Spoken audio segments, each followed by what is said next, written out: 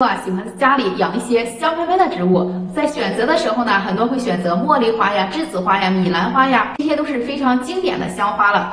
但是它们的花朵呢，大多是白色的，而且花期也特别短。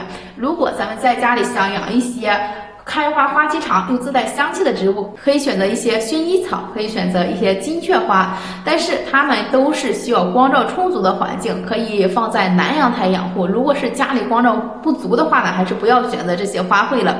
如果是家里有露养环境，把它们扔在外面，风吹日晒，长得特别的劲爆，会长出一大丛。这种薰衣草是一种比较高端大气、上档次的花卉了。这个金雀花呢，可能很多朋友没有养过，看一下它的花型就非常的小巧精致，就像小鸟一样。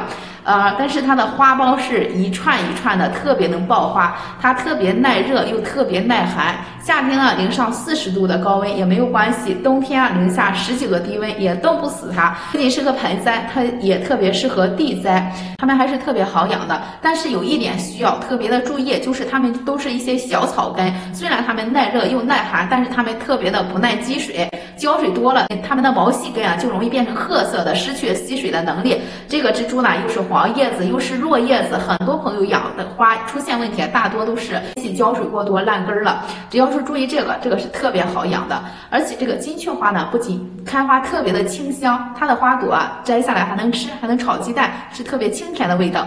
好了，今天就分享到这里吧，觉得有用点个赞吧。好看是。